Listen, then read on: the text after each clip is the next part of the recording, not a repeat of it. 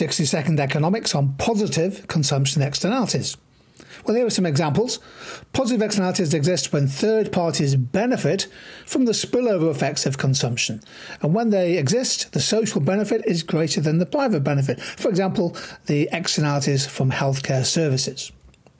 The marginal external benefit, MEB, is the difference between marginal social benefit and marginal private benefit. And in a free market, consumption will be at Q1 because demand equals supply. People only think about their own private benefits and costs. However, this is socially inefficient because at Q1, the social marginal cost is less than the social marginal benefit. Society would prefer the output to be Q2, where we take positive externalities into account. So, social efficiency would occur at Q2, where social cost equals social benefit, and if we stay at Q1, there is under consumption. This is a cause of market failure.